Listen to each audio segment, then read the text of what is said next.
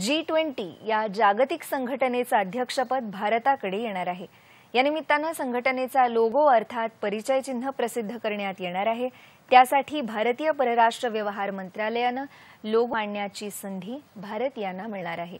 सात जूनपर्यंत स्पर्धकांना माय जीओव्ही डॉट पोर्टलवर आपल्या कल्पना सादर करता येणार आहेत. आपल्या युवकांची सर्जनशीलता साजरी करणारी ही स्पर्धा आहे. त्यामुळे त्यांनी यात नक्की सहभाग घ्यावा असं आवाहन पंतप्रधान नरेंद्र मोदी यांनी भारतीय युवकांना केलं आहे.